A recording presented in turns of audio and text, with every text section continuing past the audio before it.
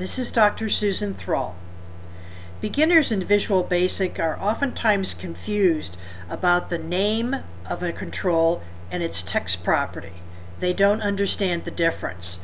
So let's have a quick demonstration of this. Let's say I put a button on my form. So I'm over here in the toolbox.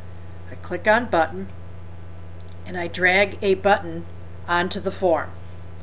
When I first drag or create this button, its name is the dummy name, button 1. And if you look at your property panel over on the right, you can see its name is button 1. However, if you scroll down, you'll see its text property is also called button 1. So what's the difference? The name is what the computer sees as the name of this item. What is this thing called? It's called button 1. And it's recommended that instead of keeping this dummy name, that you follow the Visual Basic naming conventions and give it a good name.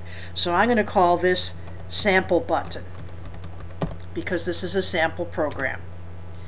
Now I type in sample button, I hit enter, its name here doesn't change because this is the text property. This is what the user is seeing. The computer sees this whole button as being called sample button. But what's on it, what the user sees, is the dummy button 1 text. So I'm going to change that and I'm going to type in click me.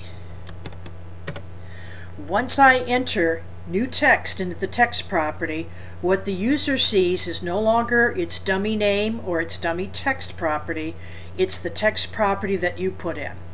So therefore, the text property is what the user sees on your form, on your controls. How the computer sees this object, this control, is via its name, which is called sample button.